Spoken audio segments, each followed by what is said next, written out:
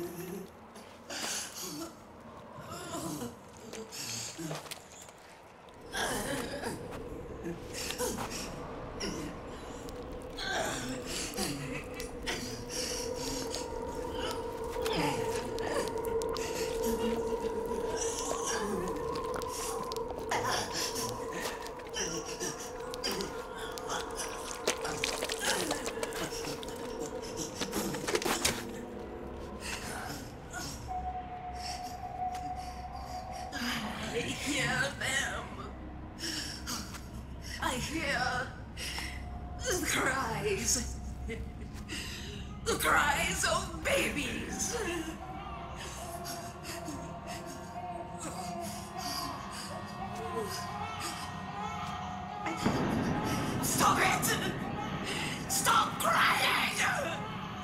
Please! Please stop crying!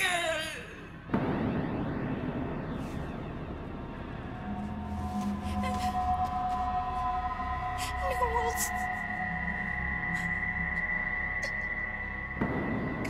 Go away. Don't come any closer.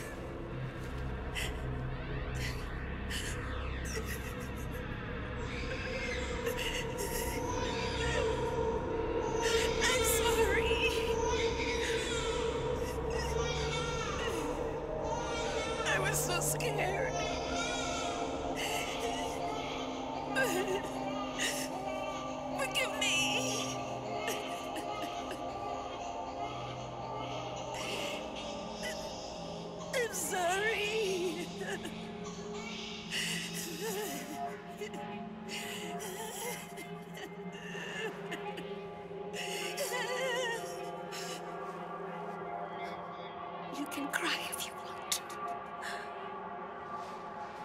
Cry if you need to.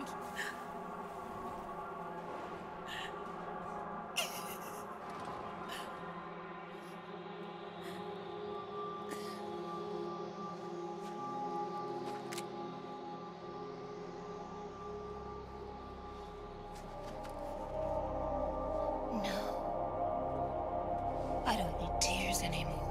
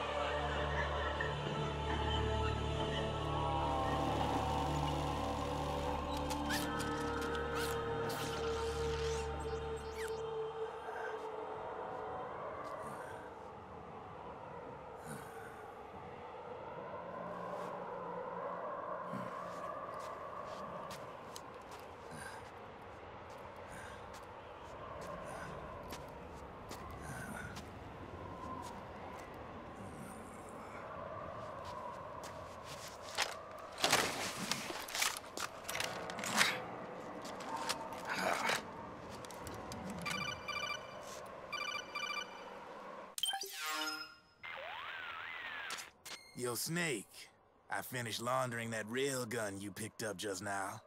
Knock yourself out. It's on the house. Thanks. Time for another bedtime story, Snake. This one's about Crying Wolf. You don't need me to tell you there's whole nations in Africa tearing themselves apart in the name of ethnic cleansing. Well, she was born into that environment. When she was a little girl, her village was attacked by rival armed factions. Her parents and siblings were slaughtered, and she was left a refugee. She took her last surviving relative, her baby brother, and ran as far as she could away from the war zone. One day, they came across an enemy unit. So she took her brother and hid in an abandoned shack. And then her brother started to cry. She knew that if the soldiers heard the noise, they would find them and kill them both. So she wrapped her hand as tight as she could around his mouth. As the footsteps gradually went away, she came back to her senses. Her brother wasn't crying anymore. Horrified, she pulled her hand away, covered in sweat and spit. He wasn't breathing. They say wolves eat their own pups when they die. She was spotted wandering through the thick of battle, carrying her dead brother in her arms. She had visions, too. A wolf walking alongside her. Every night, the wolf would howl and cry, just like her brother did that day. Eventually, she made it to a government-run refugee camp. But by then, her brother's body had rotted away. The camp was crowded with refugees like herself, and little children like her brother. Day and night, she was tormented by the cries of babies. The wolf that followed her heard her sorrowful screams and answered. He made his way around the camp, and one by one, he silenced the children. She tried to stop it, but she was powerless to stop the wolf. A few days passed, and on the eve of the enemy's raid, there wasn't a child left. The adults who survived were torn up pretty bad.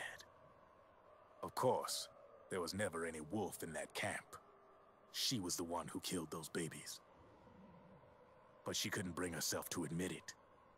She couldn't bear the thought of herself going from one baby to the next, howling like a wolf, snuffing out their little lives.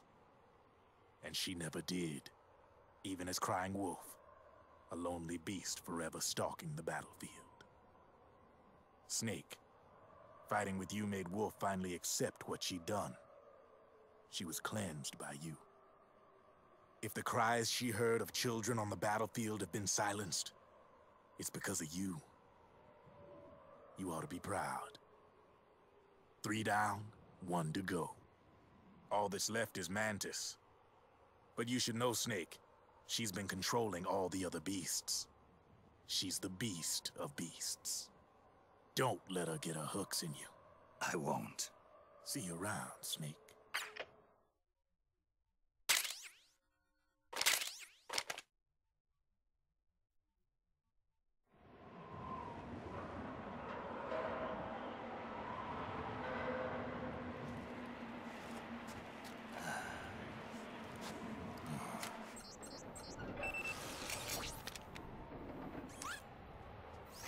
Welcome home.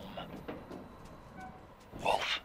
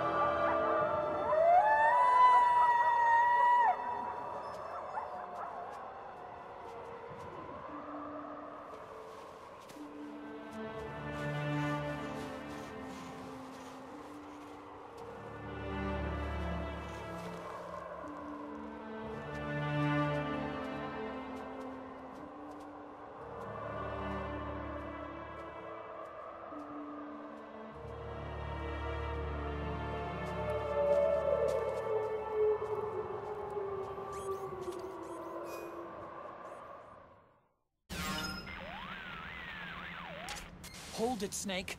Time to change the disc. I know, I know, it's a pain. But you need to swap disc 1 for disc 2. You see the disc labeled 2? Uh, no. Huh? Oh, wait! We're on PlayStation 3. It's a Blu-ray disc. Dual layered, too. No need to swap. Damn it, Otacon! Get a grip! Yeah, what an age we live in, huh, Snake? Wonder what they'll think of next. Otacon, how do I get this door open? It's not opening? That's weird. I know I disengaged security back at the lab. We should have been able to get to Rex's storage hangar from here. I've got it. If memory serves, there are casting and rolling facilities directly beneath the furnace.